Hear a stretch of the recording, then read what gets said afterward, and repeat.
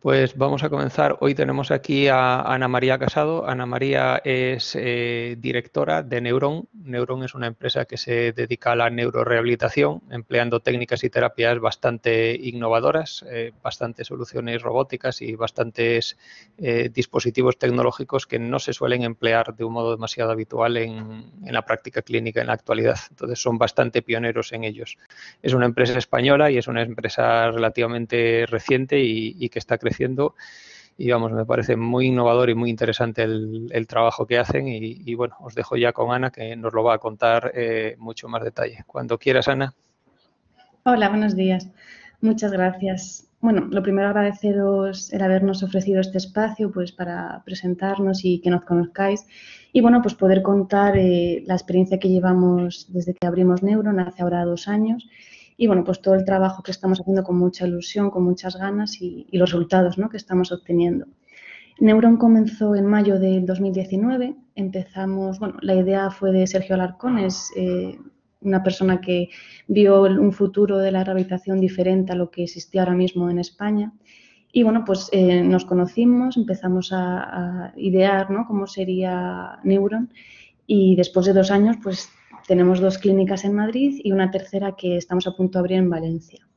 Nosotros hemos querido cambiar la rehabilitación que existía hasta ahora en España, em, no solo incorporando tecnología robótica, dispositivos, que al final bueno, pues es un, punto muy fuerte dentro de nuestra metodología, pero no, no, es la clave como tal. Nosotros hemos ido creando durante este tiempo una metodología propia que aúna toda la parte humana de, realmente trabajamos con personas que están en momentos difíciles, que han sufrido, bueno, pues diferentes circunstancias y, la metodología, bueno, pues lo que hacemos es poner a la persona en ese centro y buscar cuáles son las mejores evidencias científicas, cuáles son las mejores técnicas, cuáles son las mejores herramientas tecnológicas para poder ofrecerles, bueno, un espacio donde puedan rehabilitarse y, y conseguir sus objetivos.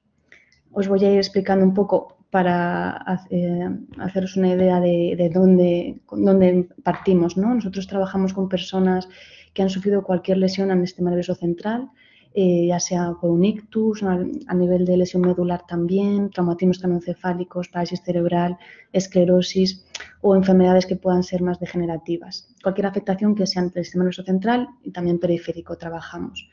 Nosotros somos un equipo joven en el que, bueno, pues no tenemos unos criterios de inclusión ni, exclusión dentro de, nuestro equipo. Somos unas personas especializadas en rehabilitación neurológica y tratamos cualquier tipo de edad. Tenemos equipo especializado más en adultos, equipo especializado más en pediatría, diferentes fases de la rehabilitación. Eh, lo importante es que la... Uy, perdonadme.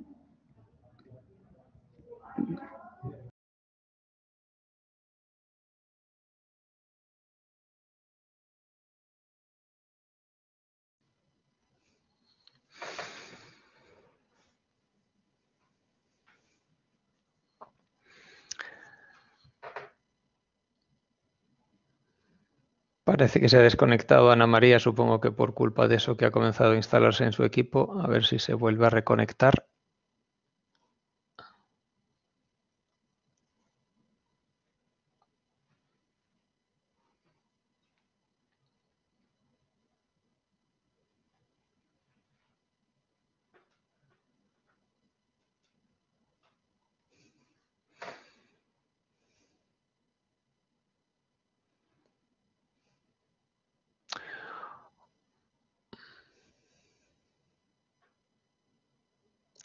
Creo que tienes sin activar el micrófono, Ana.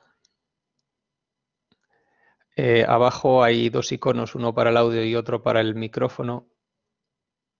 Ajá, micrófono y audio. Ay, disculpad. Nada, no te preocupes.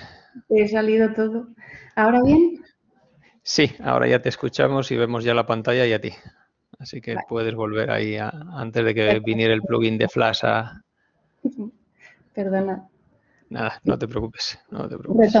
Nosotros trabajamos con cualquier tipo de fase de, la rehabilitación dentro de cada persona, da igual que sea un momento agudo, un momento crónico, siempre que haya objetivos que la persona pueda trabajar, nosotros los abordamos. Cualquier afectación, ya sea más grave, más leve, y bueno, en todas las partes del cuerpo se refiere a que tenemos dispositivo de tecnología que pueda abordar cualquier tipo de componente. Como os decía al principio, nuestra clave dentro de, nuestro trabajo en Neuron y de nuestra metodología es poner a la persona en el centro de la rehabilitación, ya sea contando con esa tecnología, con esos dispositivos que ahora veremos con más detenimiento, con toda la evidencia que haya a nivel de técnicas, que, bueno, que ya haya un respaldo y esté comprobado que tengan resultados dentro de cada patología somos un equipo transdisciplinar que vamos a trabajar con esa persona, los objetivos que esa persona necesite desde las diferentes áreas de trabajo y sobre todo una parte muy importante es el trabajo con las familias. Eh, no se nos puede olvidar que cada persona tiene dentro de, bueno, pues de ese contexto ¿no? y de esa historia de vida eh, personas que les están acompañando y que también, no solo para la persona que ha sufrido un daño cerebral, la vida le cambia, también cambia a la familia que está a su alrededor, a familia, amigos, eh, bueno, pues cuidadores. Entonces nosotros aunamos todos estos componentes para que la rehabilitación sea un momento en el que acompañamos a la persona en todos los ámbitos posibles para poder ayudarle a, pues, a una nueva reconstrucción de un nuevo proyecto de vida. Dentro del equipo que tenemos en Neuron, de las personas que, trabajamos, somos fisioterapeutas, terapeutas ocupacionales, logopedas y neuropsicólogos. El abordaje transdisciplinar que nosotros implementamos eh, significa poder trabajar desde todas las áreas el mismo objetivo que la persona quiera. Cada uno va a tener su especialidad, pero nos vamos a enfocar en ese objetivo. Por eso es muy importante que la terapia sea significativa para cada persona, que ellos elijan qué es lo que quieren trabajar y nosotros ya con nuestras herramientas, nuestros fundamentos clínicos, toda la tecnología, vayamos viendo cómo acercarnos o cómo poder conseguir eh, esos objetivos. Dentro de nuestra metodología, para que, bueno, pues vosotros, aunque no estáis dentro de la parte clínica como tal, pero bueno, sí que tenéis formación en ello, es muy importante hacer una buena valoración, por eso la tecnología de la que disponemos nos ayuda mucho a conseguir una valoración objetiva, de realmente poner una línea base desde la que podemos partir para enfocar la intervención con nuestros dispositivos tecnológicos que tenemos nos da una información muy fiable y muy objetiva del caso para poder luego hacer revaloraciones o cuando el tratamiento se termine poder hacer una valoración final y poder comparar esos resultados. Entonces nosotros comenzamos con esa valoración y vamos estableciendo objetivos y analizando esos resultados. Si la persona consigue un objetivo, plantearíamos el siguiente y volveríamos a analizar qué se necesita para conseguir ese objetivo. Combinamos eh, lo que os he explicado antes, esa parte de toda esa tecnología, esa parte del equipo y un tratamiento integral. No trabajamos por componentes de la persona aislados, el fisio no trabaja sobre la marcha, el terapeuta no trabaja el brazo, la logopedia no trabaja sobre la comunicación, sino que es un abordaje mucho más complejo, mucho más global. Al final lo que se hace es un plan de rehabilitación específico para cada persona, ¿vale? Cada persona, cada tipo de patología, cada momento que esté viviendo y cada objetivo que demande. Podemos trabajar en el centro con toda nuestra tecnología, podemos trabajar en, entornos reales, también en sus domicilios, todo lo que sea necesario para ir consiguiendo ese objetivo. Y, bueno, como terapia intensiva eh, es algo importante porque es una de las claves en la neuroplasticidad y para poder conseguir realmente cambios vamos orientando toda nuestra práctica, es una práctica bueno, pues a nivel motórico orientada al control motor y, y sobre todo dar la máxima intensidad que la persona tolere para que realmente se puedan producir cambios. Me voy a ir adentrando más en el tema de tecnología, que creo que es lo que a vosotros más os, puede interesar, y quiero hacer una pequeña introducción de los tipos de tecnologías que ahora mismo se conocen como tecnologías avanzadas en rehabilitación. Hay diferentes sistemas, tenemos sistemas robóticos que pueden ser exoesqueletos o efectores finales, tenemos sistemas sin motores, tecnología basada en sensores, realidad virtual, que también puede ser o inmersiva o no inmersiva, y luego también se considera esa tecnología avanzada la estimulación eléctrica funcional y la estimulación cerebral. Nosotros disponemos, os los voy a ir explicando, vamos a ir viendo vídeos para que también vayáis entendiendo un poco cómo sería esa rehabilitación. Dentro de los sistemas asistidos por robots, sobre todo tenemos efectores finales. Dentro de esa evidencia, eh, ahora mismo tiene un peso más importante de los estudios que, pues que han ido saliendo, esa parte de efector final.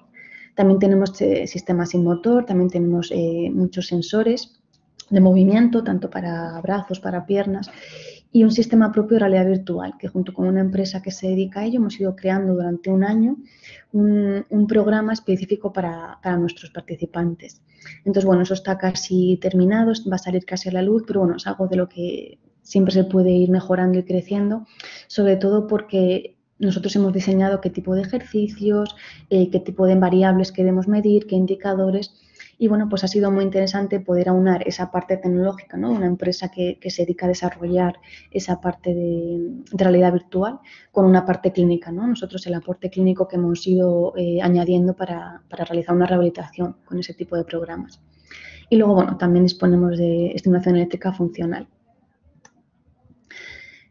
Este mapita, bueno, me pareció muy interesante por ver ahora mismo eh, dentro del mercado de la rehabilitación y del mercado de la tecnología todas las empresas que, se, ahora mismo se dedican a, este sector.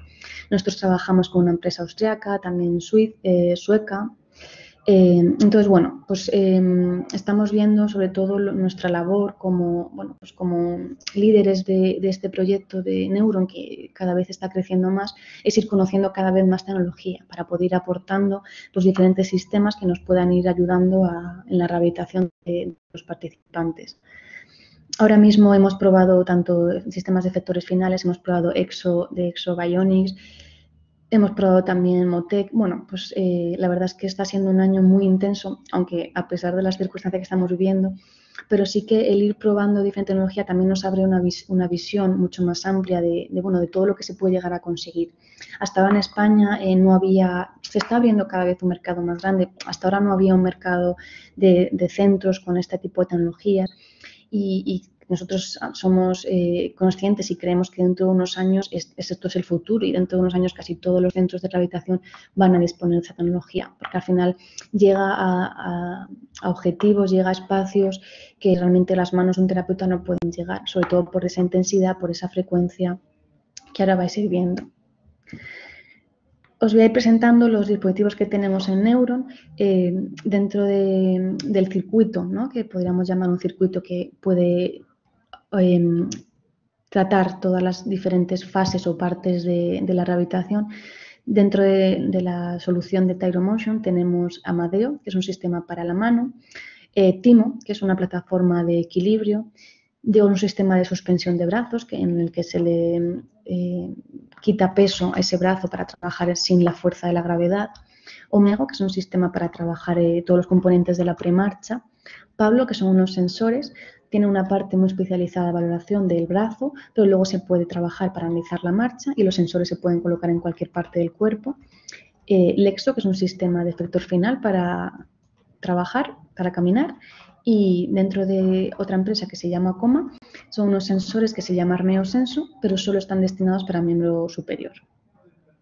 Vital Steam, que es un programa de estimulación para el área de logopedia, para trabajar toda la musculatura orofacial la, la red virtual que os he comentado y luego eh, estimulación eh, magnética, electroestimulación. Tenemos FESIA, que es un sistema de mm, electroestimulación funcional para caminar, y Noraxon, que es una electromiografía de superficie. Os voy a ir explicando uno a uno, para, os he traído vídeos también para que podáis entender mejor cómo, cómo se desarrolla cada, cada rehabilitación con cada dispositivo. Dentro de la terapia asistida por robot, bueno, como elementos clave para poder centrarnos y, entender bien cómo sería eh, la utilización de estos dispositivos, es una estructura mecánica que tienen tanto segmentos como articulaciones móviles y que la energía es a través de, motores, ¿no? Entonces utilizan unos sensores que pueden medir tanto la fuerza, eh, la posición, la orientación. Tenemos diferentes controladores ¿no? que nos permiten esos motores de acción que los podamos ir regulando y luego la interfaz con el paciente, ¿vale? Que la persona puede ir viendo, ¿no? La, interfaz que la persona ofrece a ese robot y luego lo que el robot nos ofrece a nosotros, ¿no? Para ir ajustando todas esas terapias. Eh, aquí os presento Amadeo, es un sistema para trabajar la mano, es un efector final, entonces se coloca un sensor en cada dedo y lo que hace es permitir ese movimiento perdido por una lesión, ya sea un ictus, un traumatismo craneoencefálico, eh, cualquier tumor cerebral.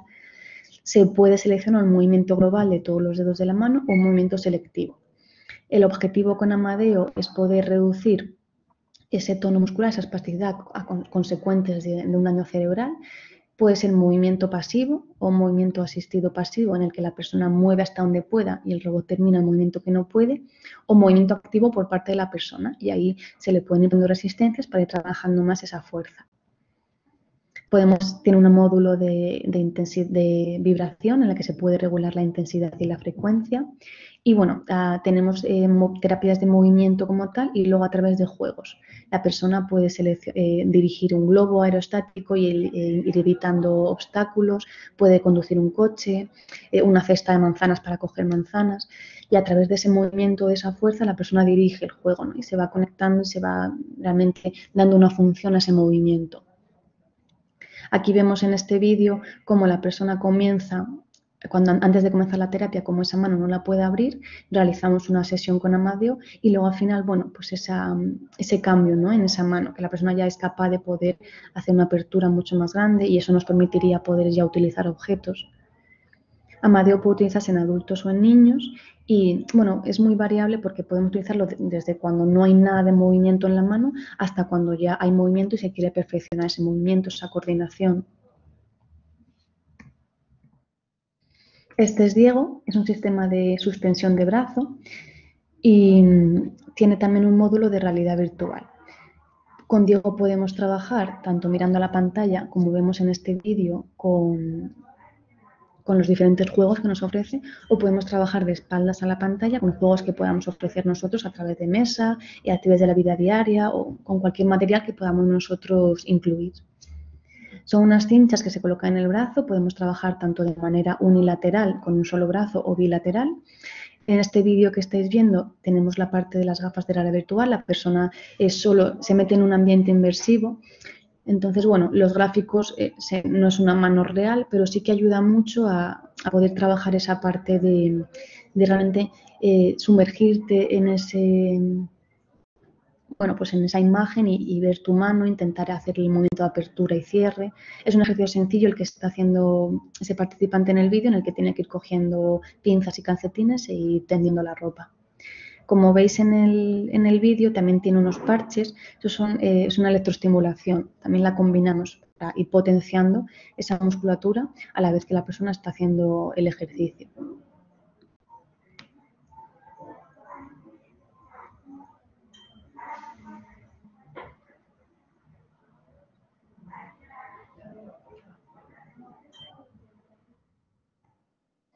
Este es Omego. Eh, Omego eh, se utiliza muchísimo para poder trabajar todos los componentes que se necesitan en el miembro inferior para poder luego caminar, ¿vale? Sobre todo ellos lo llaman el sistema de premarcha. Entonces, podemos hacer diferentes tipos de ejercicios, ya sea aparentemente parece una bicicleta, podemos hacer movimiento eh, de bicicleta, podemos hacer movimiento de step, prensa de piernas para trabajar la fuerza y tiene una parte específica de ese movimiento de, flexión dorsal y plantar de tobillo. Eh, muchas de las personas que sufren un daño cerebral, una de las consecuencias, bueno, aparte de poder perder la capacidad de, caminar, es en ese movimiento de la articulación del tobillo. Entonces aquí tiene una parte específica para poder trabajar eh, ese movimiento. Se trabaja igual que en Amadeo que hemos visto antes con el movimiento de la mano, se pueden trabajar movimientos rítmicos, en movimiento cíclico o ya se puede también meter a través de otros eh, juegos ¿no? para poder seguir trabajando esa parte de coordinación eh, pues con una función. En los mismos juegos se pueden trabajar con todos los dispositivos. Lo que pasa que ya cada terapeuta elige eh, qué dispositivo le viene mejor a cada persona en base, en base a ese razonamiento clínico se trabaja con, con, Omego, podemos trabajar el ritmo y la cadencia, toda la capacidad eh, aeróbica, eh, cardiorrespiratoria. Pues tiene bastante variabilidad dentro de ese fortalecimiento, esa movilización a nivel de propiocepción. Os voy a poner este vídeo en el que también combinamos, igual que hemos visto en el anterior, los parches de la electroestimulación, aquí es una electroestimulación funcional en ese movimiento de, de tobillo. Entonces le va dando esa descarga o mientras camina, en este caso es mientras utiliza Omega.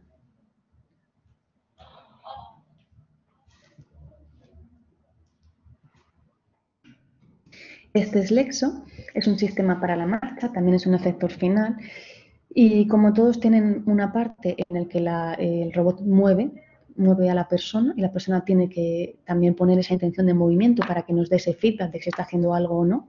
Ese feedback es muy importante para cómo ir dirigiendo la, intervención. Y luego tiene una parte en que la persona eh, mueve activamente y también se le pueden poner resistencias. Entonces, eh, nos ayuda mucho a poder trabajar ese patrón de marcha. Podemos ir modificando la cadencia, eh, la velocidad a la que se va a mover el robot. Eh, bueno, pues tienen nosotros cuando caminamos eh, tenemos un movimiento tanto vertical como disociando diferentes cinturas pélvicas, cinturas escapulares. Entonces, lo, bueno que tiene el EXO es que nos permite ese movimiento que cuando una persona pierde ese patrón de marcha, suele perder también ese, ese movimiento que acompaña a ese patrón y suele ser, dependiendo del caso, pero la mayoría suelen tener una parte muy rígida en la que se mueven de una manera como muy en bloque y el EXO ayuda a realmente sentir esa, marcha o, la marcha normal, que se considera normal, a sentir otra vez ese movimiento. Trabaja mucho la parte del equilibrio, se puede, como os comentaba, poner diferentes resistencias para ya trabajar de manera más específica la fuerza. Nosotros en esta foto eh, veis que a la persona le ponemos unas gafas de realidad virtual para también enriquecer más el entorno de la, de la terapia. Y aquí vemos a Alexo funcionando. En este caso, este participante utiliza un sillín, se puede utilizar o no, y luego tiene diferentes adaptaciones. En el caso de este participante, con un cinturón le basta para poder mantener el tronco. Hay veces que si no se tiene ese control de tronco, se puede poner un arnés enganchado arriba donde veis para que tenga más sujeción. Eso nos permite poder trabajar la marcha en gente que no puede caminar y sobre todo poder darle esa intensidad de repeticiones, de poder trabajar eh, pues lo que la persona tolere pero durante un tiempo que pueda ir trabajando y no solo a nivel musculoesquelético, sino a nivel también neuroplástico. Ese generador central de patrones que permite una marcha con un ritmo y con una tanto intensidad como frecuencia. Otro de los dispositivos de los que disponemos es una tecnología basada en sensores. Y esto, bueno, pues eh, puede medir eh, tanto movimiento como también puede medir fuerza. Dentro de los elementos clave aquí os he señalado, bueno, pues que tenemos esa parte de detección y recuperación de datos que a nosotros nos da mucha información. Los sensores nos miden los ángulos de movimiento que la persona puede mover en su brazo, por ejemplo, y eso nos va ayudando a la vez que hacemos revaloraciones a ver si realmente la intervención que estamos haciendo está mejorando y aunque a nivel observacional o a nivel cualitativo podamos ver que es un brazo que la persona lo utiliza más, eh, tiene más movimiento, puede hacer más cosas con él, pero de manera objetiva vemos realmente si a nivel de hombro ha mejorado esos grados de flexión, de extensión, de una manera mucho más específica. Eh, luego también vamos recopilando todos esos datos a la hora de luego tener que hacer informes o, bueno, investigaciones propias que también estamos haciendo.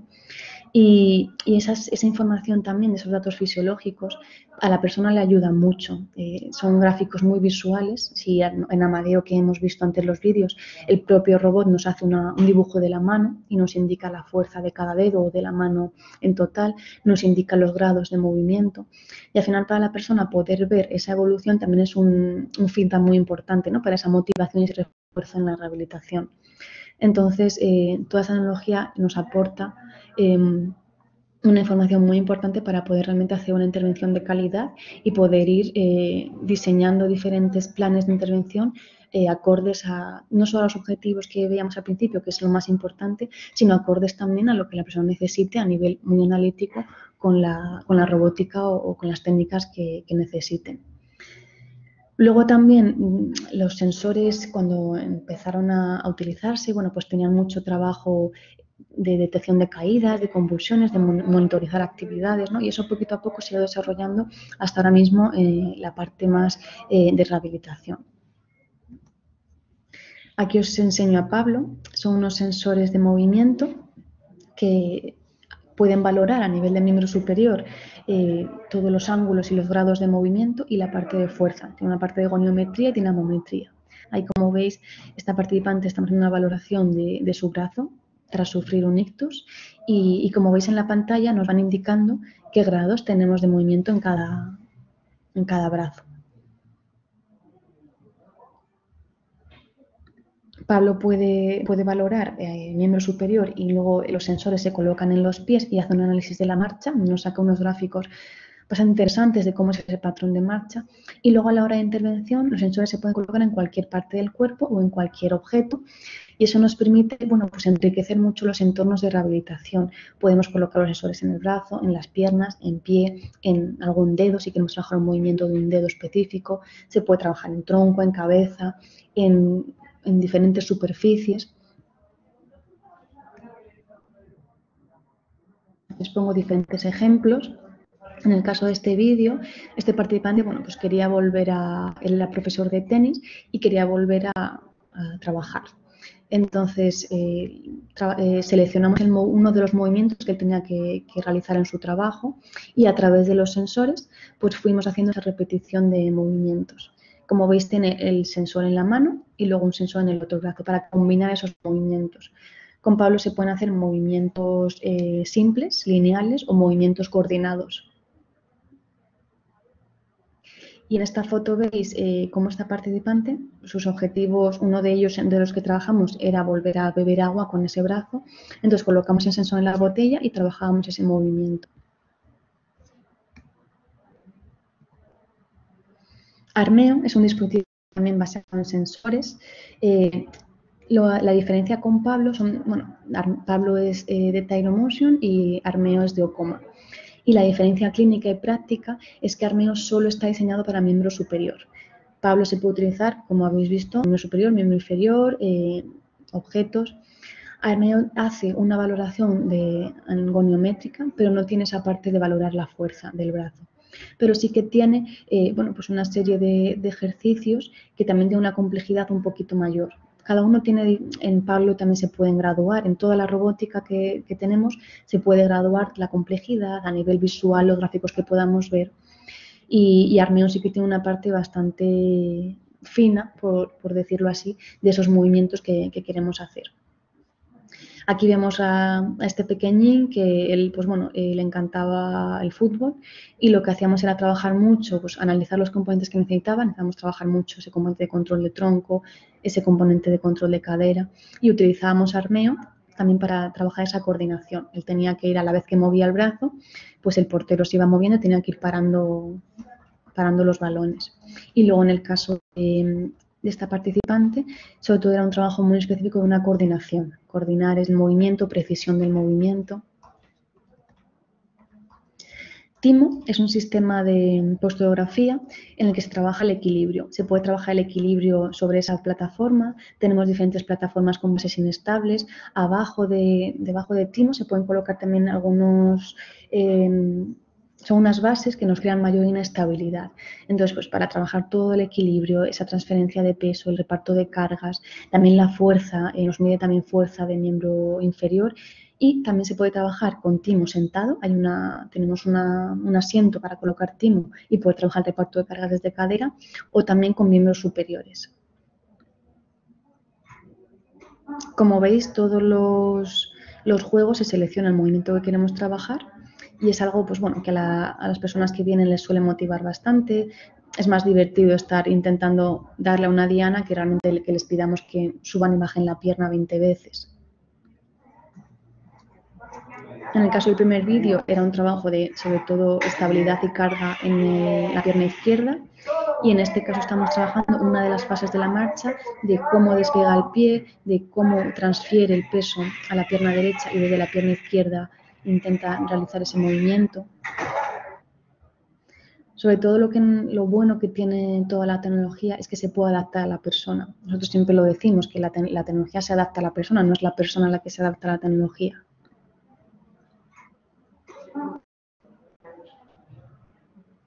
Os pongo otra vez los vídeos para que los podáis ir viendo.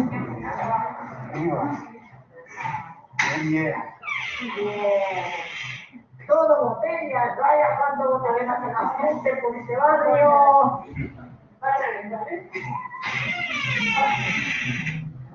Es algo que, que, les motiva mucho porque tienen ese feedback de, bueno, pues de los niveles donde están, de cómo van evolucionando. Aparte luego de las valoraciones que se las mostramos para que ellos vean también esos cambios, pero la parte de los juegos de poder ver, bueno, pues he subido de nivel o dentro de cada nivel también se puede aumentar la dificultad y es algo que, que por la experiencia que estamos teniendo les, está, les, ayuda mucho a esa adherencia al tratamiento y a esa motivación.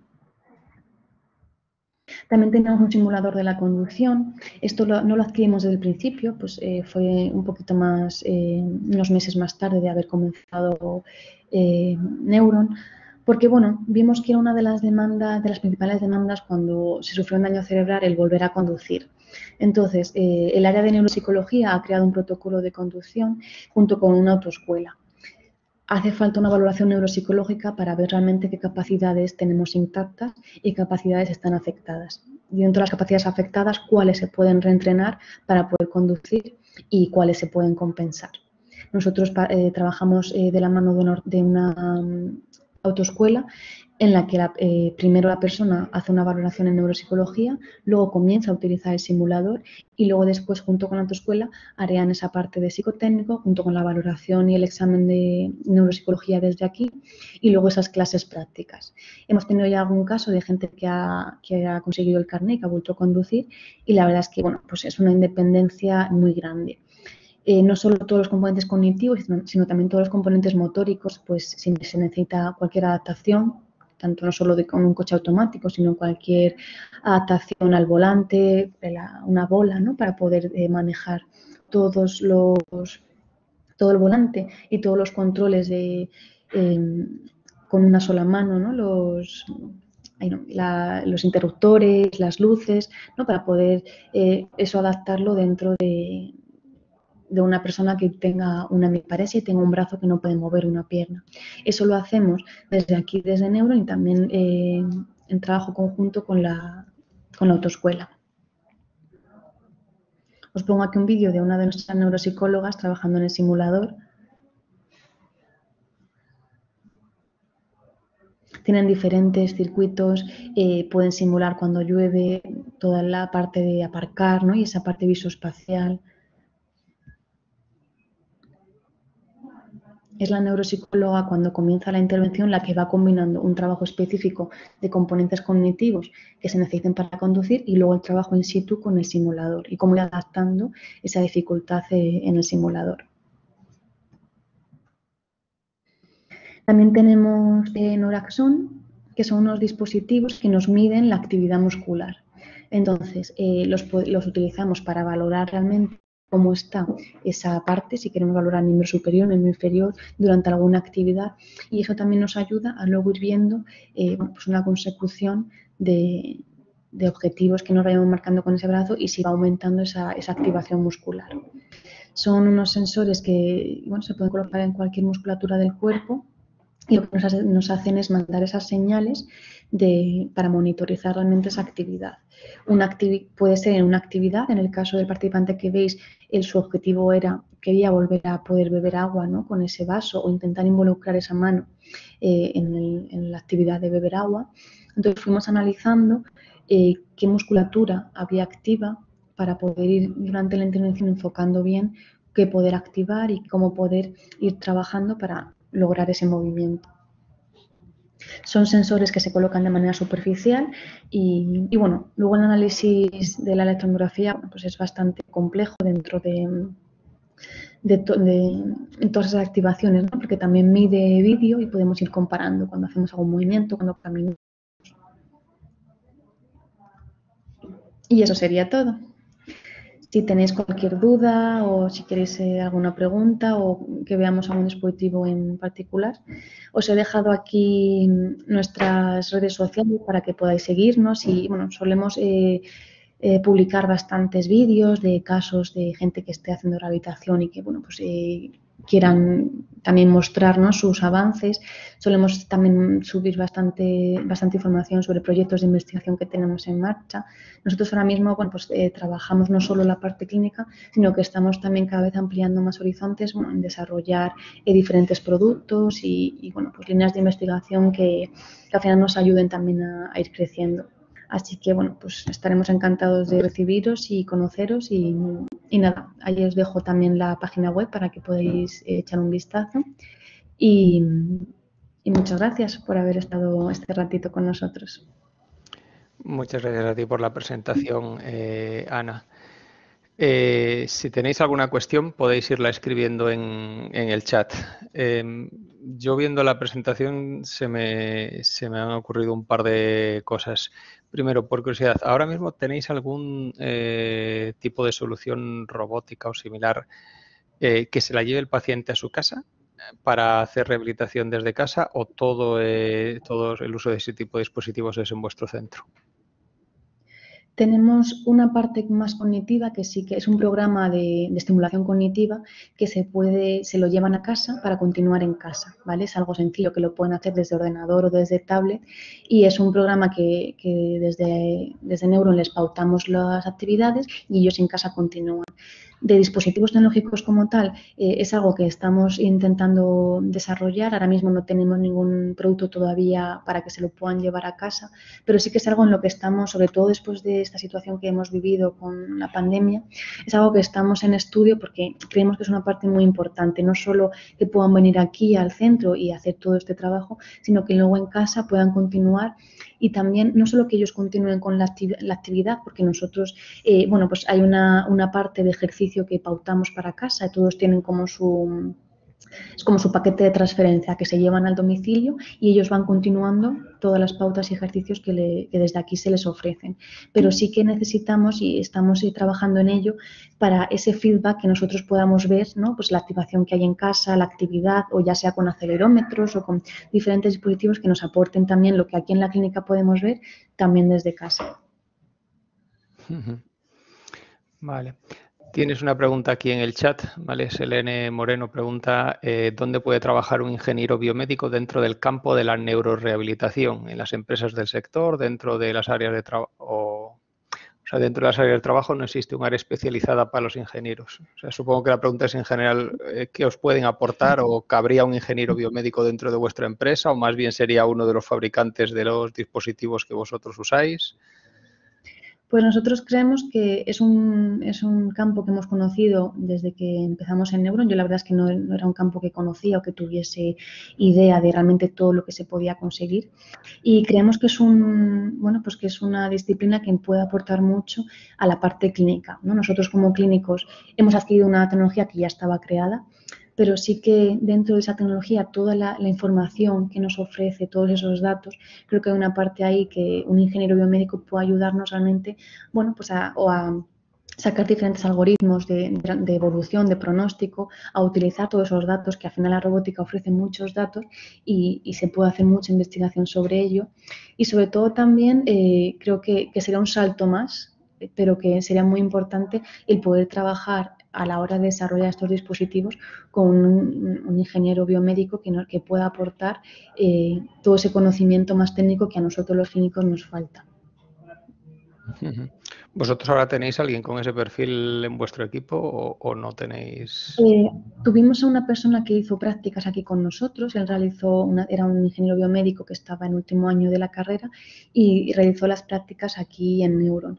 Y estamos desarrollando, de los diferentes proyectos que tenemos en marcha, estamos desarrollando con un sistema de robótica social eh, para poder eh, que la persona se lleve el robot eh, a casa y empezó a ayudarnos en esa parte de nosotros como clínicos podemos ver cuál es la necesidad en casa, si la persona necesita que se le mm, proporcione unas pautas o necesitamos hacer una serie de ejercicios, pero cómo programar ese robot y cómo hacer toda esa programación fue algo en lo que nos ayudó ahí. Ha sido la experiencia que hemos tenido con la ingeniería biomédica. Vale. En general, ¿tú echas de menos algún tipo de eh, dispositivo ayuda técnica, robot o qué, crees que sería lo que más útil o sería desde tu punto de vista? O sea, algo, alguna deficiencia que tengan en general, o sea, una cosa creo que ya has apuntado un poco, ¿no? Generan muchos datos, pero no tengo claro qué hacer con ellos. esa, sería. Eso es importante porque nosotros nos genera muchos datos de cara a la práctica, ¿no? Para, pues vemos cómo está el brazo, cómo está la pierna, cómo está su atención, cómo está su coordinación y esos datos nos sirven para cada persona. Pero sí que, ya que llevamos, bueno, pues vamos a hacer dos años trabajando y recuperando todos esos datos, creo que hay una parte muy importante en este sector de ver realmente esos pronósticos, ¿no? Con este tipo de rehabilitaciones. Es algo, bueno, que se necesita muchos datos, pero que sería muy importante. Y también creo que la parte de rehabilitación de la mano es algo que se necesita un, bueno, pues un aporte de estudio porque nosotros tenemos un sistema de efector final, hay otros sistemas que están basados en guantes. Eh, la parte de, sobre todo en daño cerebral, cuando se sufre un ictus o un traumatismo, eh, la mano siempre es una de las grandes afectadas y pues bueno, pues por zonas cerebrales y por, depende de la lesión, suele ser la que más secuelas, eh, a nivel de miembro superior, lo que más eh, las personas tienen esas secuelas y es lo más difícil de rehabilitar. Entonces creo que ahí a nivel de sensores de movimiento se ha avanzado mucho, a nivel de dispositivos de la marcha se ha avanzado también, pero creo que en, la rehabilitación de la mano todavía es un, campo muy amplio de, pues de, seguir estudiando. Vale. Vosotros a la hora de analizar esos datos lo, estáis haciendo un poco la parte de ver cómo explotarlos y cómo poderlos usar para ver el pronóstico de los pacientes. ¿Lo estáis haciendo vosotros mismos con conocimiento in-house? ¿Estáis colaborando con alguien? Sí, nosotros de momento, bueno, pues eh, tenemos diferentes colaboraciones de gente que nos eh, aporta y nos ayuda y, es algo que, sobre todo ahora mismo, estamos en proceso de recogida. No, no podemos decir que ahora tengamos un, algo que podemos mostrar nuestros casos de éxito, podemos mostrar nuestras intervenciones, nuestros casos clínicos, pero es algo que estamos recogiendo esos datos para ir trabajando realmente en, en, un futuro, poder mostrar realmente con toda nuestra metodología y hacer unos pronósticos de, de evolución. Vale. No sé si queréis preguntar algo más. Eh, alguno de los asistentes, si queréis. Vale, acaban de pregar aquí un mensaje. ¿Tú estás viendo el chat, eh, Ana? No, te, lo leo si quieres. Vale. Vale. Es Marta Arranz. Eh, dice, hola, personalmente me preocupa no saber utilizar específicamente estos instrumentos, ya que debido a la tendencia en la práctica clínica nunca me he encontrado con robótica en mis trabajos en neurorehabilitación por lo, de cara, eh, por lo que de cara a ampliar horizontes perdón, y poder trabajar en lugares con esta tecnología, ¿conocéis alguna formación más específica para saber utilizarlos o al final se adquiere con la práctica clínica? O sea, que ¿dónde puede aprender a usar toda la tecnología que tenéis vosotros ahí que parece que le ha gustado? ¿Cómo se aprende a usar eso? Nuestra experiencia con la práctica clínica. Una vez que se adquieren esos dispositivos, pues tienen una formación específica, Hay eh, se, ofrece una formación en esos dispositivos. Sí que es verdad que ahora mismo en España no hay, eh, nosotros realizamos un curso hace unos meses en los que ofrecíamos esa formación, pero ahora mismo en España no hay ninguna formación que te habilite a utilizar esos dispositivos. Por mi experiencia, creo que no sería tan interesante que pues, un terapeuta pueda hacer esa formación, porque luego si no lo practicas, al final son conocimientos que, se pueden olvidar. Eh, nosotros, eh, bueno, pues empezamos Sergio y yo, dos personas eh, con un centro y un folio en blanco, ¿no? Que siempre decimos. Y al final lo que nos ha hecho, bueno, y a mí me ha hecho ir adentrándome en el mundo de la robótica es probar final con la práctica no solo la robótica que tenemos, sino todos los dispositivos que vamos probando y los que salen nuevos en el mercado, es la práctica la que nos ofrece realmente esa experiencia. Todos los, ahora mismo somos 23 trabajadores en Neuron y bueno, pues la gente los, al comenzar con nosotros ha ido primero haciendo esa formación en robótica y luego poquito a poco ya, una vez que manejan la robótica, incorporándola en las sesiones con los participantes. Nosotros, como nuestra filosofía de empresa, no buscamos a gente que sepa de utilizar robótica, sino que tenga ganas, que tenga ilusión, que al final es lo más importante. Y, la, práctica se, aprende. Mucha gente ahora mismo en el sector eh, no, tiene esa formación, pero es algo que, luego se adquiere. Sí que Marta, ya sabes, no, hace falta saber usar los dispositivos y, además están buscando gente para Madrid y, van a abrir en breve oficinas en, en Valencia también. Así que si quieres montarles el currículum. también estáis abiertos. ocupacionales, logopedas. Y también estáis abiertos a, colaboraciones tipo prácticas, ¿no? Por lo que mencionaste, que habéis tenido ya un estudiante de biomédica. Vale. Eh, no sé si alguien quiere preguntar algo más.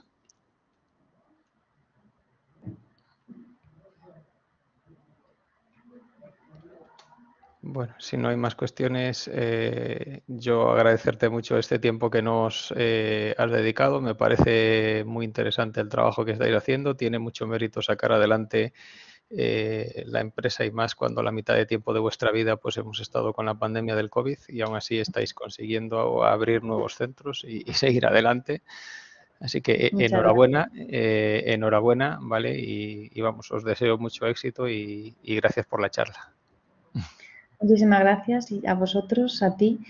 Y, nada, pues nosotros estamos aquí abiertos a, seguir creciendo. O sea, nuestra filosofía desde el inicio es crecer, eh, conocer, seguir estudiando y, bueno, poder hacer de Neuro un proyecto, bueno, pues no solo grande, sino bonito y, que ayude realmente a las personas que vienen.